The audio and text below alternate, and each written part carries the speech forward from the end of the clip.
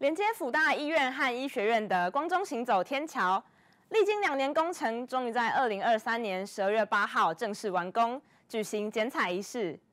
新建立的天桥更方便学校和医院的流通，同时也能避免桂子路上行人穿越马路的事故风险，保护医护同仁和就医民众的交通安全。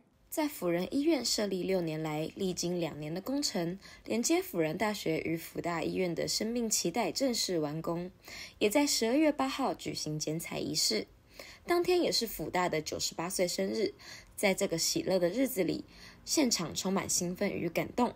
福大医院的同仁甚至举杯庆祝。学校里面，学校端很多教职员生，可能也会得到医院去就医，或者是做一些呃相关的见习啊、研究工作等等。那有了天桥之后，其实是可以缩短这个不管是心理上的距离，或者是实际上的距离。洁白亮丽的天桥外观。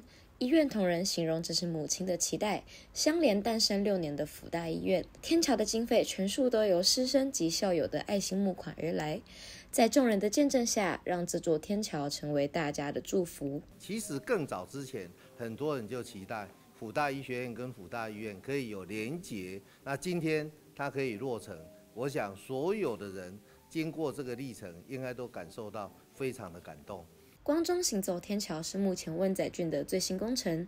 桂子路上的行人道本来就狭窄，上面还设有 U 拜的租借站，让本来就不宽敞的道路更加拥挤，时常会有人车共道的情形，相当危险。期许未来天桥启用后，能够增加行人的用路安全。如果可以直接从福大然后通到医院的话，就听起来会蛮方便。但是，呃，因为我最近是可能不太需要往来。那个学校跟医院，那如果是有需要去医院做实习的同学的话，可能就是对他们来讲，就是会比较便方便这样子。天桥连接医院三楼至辅大医学院国玺楼四楼，跨越桂子路，便利所有的师生与医护人员。